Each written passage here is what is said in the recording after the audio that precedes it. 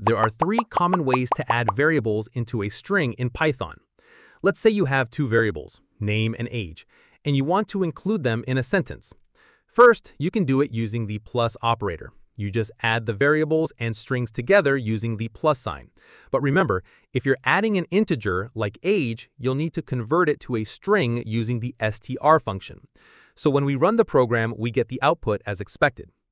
Second, a much cleaner and modern way is using f-strings.